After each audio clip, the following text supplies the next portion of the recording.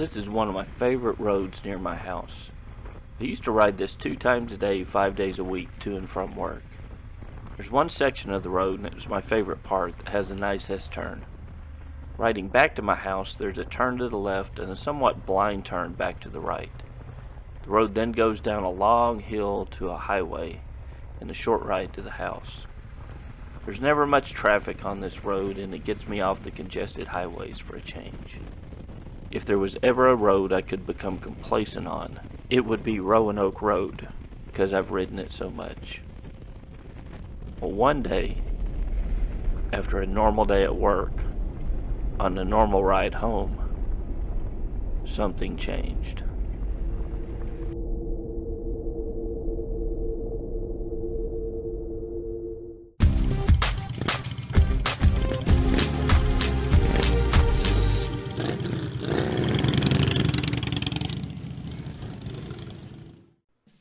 So here's that section of road we were just riding on. And I bet I've ridden this section of road a thousand times to and from work. Aside from the occasional gravel in one of those corners, I had never had an incident on this road. Till the one day I went to make that right hand turn, and a Cadillac Escalade decided that was the perfect spot to make a U turn. So I'm rounding this corner to the right. I've got my head and eyes turned through that corner. As soon as that view opened up, this was what I was looking at the passenger door of the Cadillac Escalade. There wasn't time to mentally assess the situation. In fact, the only thing I really remember as the forks were compressing, I was thinking to myself, how am I going to get stopped in time? Ended up getting the bike stopped about two feet probably from the uh, rear passenger door of that Escalade. So I'm rounding that corner, I see the Escalade. The first thing I did was I straightened the motorcycle up. I squeezed in the clutch, I downshifted to first gear, and I started squeezing on that front brake as I was applying the rear brake. If you've taken a basic rider course, you may remember that as one of the exercises you did. Stopping quickly in a curve. As an instructor, I get to practice that all the time because I'm teaching the class. But not only do I practice it in class, I practice it on my own time in different scenarios on parking lots. So I was able to get that motorcycle to a stop in the road purely on instinct. Like I said, I didn't even think about it. And that instinct is not because I'm a fantastic rider. It's because I've trained uh, and I've practiced that exact scenario.